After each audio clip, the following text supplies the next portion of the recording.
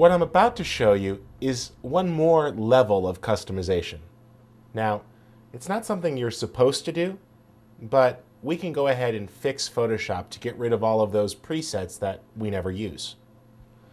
Normally, when you hit New, you're presented with the New Document window. And we have a bunch of video presets.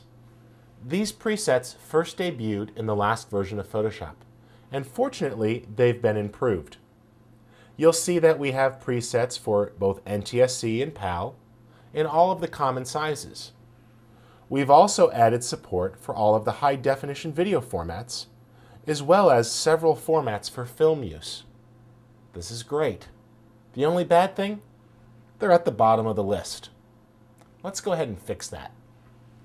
This file is actually a text file inside of the Photoshop application, and we need to modify it. In order to do this, we need to quit Photoshop. We're going to actually drill inside the application here. On a Mac, you do this by showing the package contents. I'm going to right click and choose to show the package contents. This is what's actually inside the Photoshop application. First, I'm presented with contents. I open that up, and then I go to Required. Inside of here, I'll find a file called default new doc sizes.txt. Now, you can do a search for this on a Windows system as well, and you will find this file. I open that file up using a text editor. And we have a very large text document that gives a list of everything that's going to be seen. First, we have the default Photoshop size. You can leave that as is.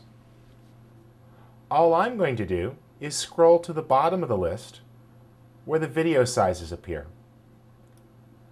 I'm going to select those, highlight,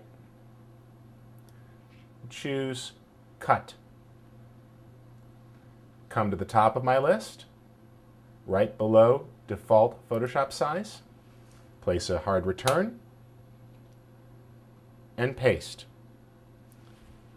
This is the text file that Photoshop uses to create the new document presets. I simply close it right now. I'll relaunch Photoshop, and then when we hit the new document, all of the video presets will be at the top of the list, which I think is appropriate considering Photoshop was invented by John and Thomas Knoll and is a direct offshoot of technology developed over at ILM.